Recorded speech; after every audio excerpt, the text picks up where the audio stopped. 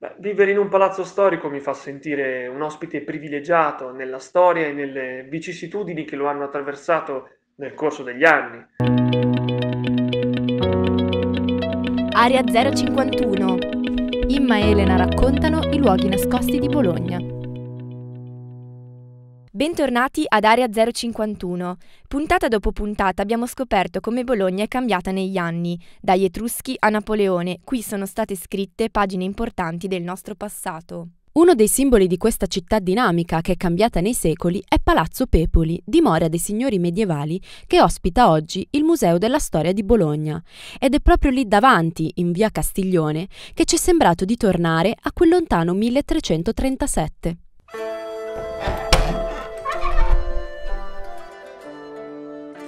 Entrate con me nel più grande palazzo signorile della città. Queste mura imponenti si addicono ad una famiglia come la mia. Scusate, non mi sono ancora presentato. Sono Taddeo Pepoli, primo signore di Bologna. Mio padre Romeo era uno dei banchieri più ricchi d'Italia, ma a Bologna non riuscì a farsi amare. Fummo costretti all'esilio. Ma io tornai qui con l'intenzione di riprendermi Bologna. Dovetti lottare contro il Consiglio del Popolo, gli amministratori della città e le scomuniche del Papa. Ma alla fine ci riuscii. Oggi, di quegli anni gloriosi, rimangono solo queste mura. Tre anni dopo la morte di Taddeo, nel 1350, sopraffatti dai debiti e dall'ostilità del Papa, i suoi figli vendettero Bologna ai Visconti di Milano.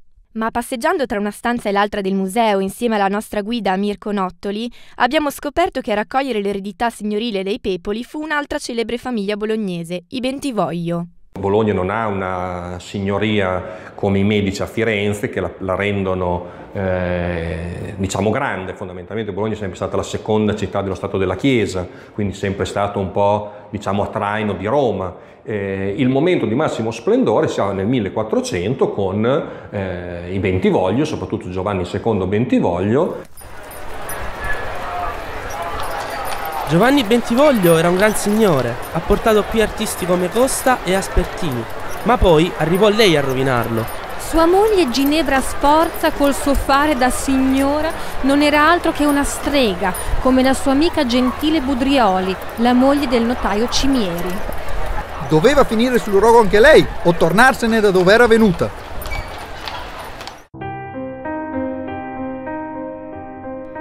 Sono anni che sento queste voci sul mio conto, ma sono solo invidiosi della mia vita e della mia ricchezza. Vedevano solo gli abiti lussuosi e i viaggi in carrozza, ma cosa ne sanno di cosa ho sopportato per arrivare lì? Avevo solo 14 anni quando sposai Sante Bentivoglio e dovetti aspettare la sua morte per sposare il bentivoglio di cui ero innamorata. Con Giovanni trovai quello che tanto avevo desiderato. Il potere era nelle mie mani e nessuno ci avrebbe ostacolato. Affrontai la perdita di cinque figli e le continue congiure, compresa la famiglia Mariscotti che ci voltò le spalle, ma io ordinai di ucciderli tutti. Non mi importava altro se non avere la mia vendetta. Del magnifico palazzo dei Bentivoglio a Bologna non è rimasto nulla, se non un cumulo di macerie nel giardino del Guasto. Lo stesso destino non toccò invece a Palazzo Pepoli, che nel 1474 tornò nelle mani della famiglia che negli anni decise di ampliarlo con nuovi edifici.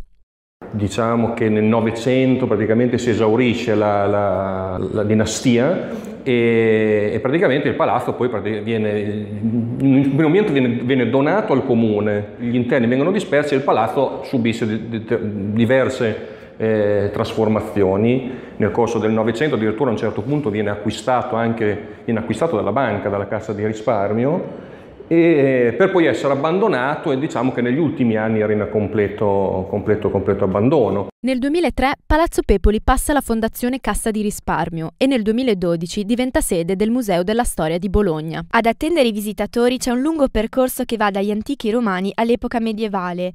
Anche qui i segreti e le sorprese non mancano. Una fra tutte ci ha colpito molto.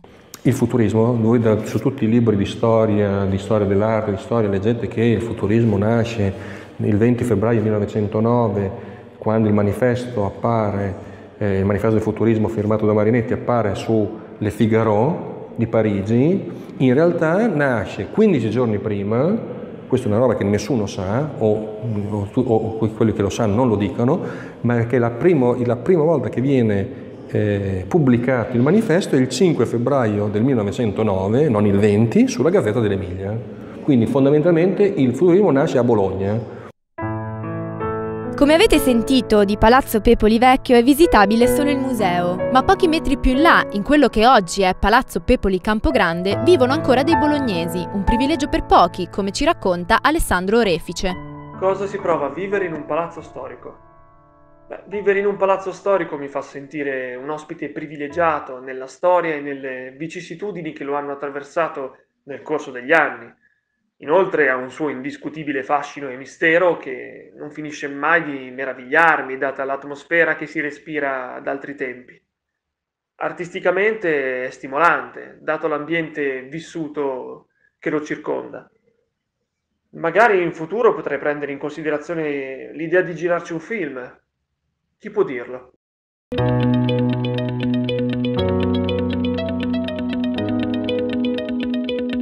oggi il nostro viaggio finisce qui. Volete sapere dove andremo la prossima volta? Seguiteci su Incronaca.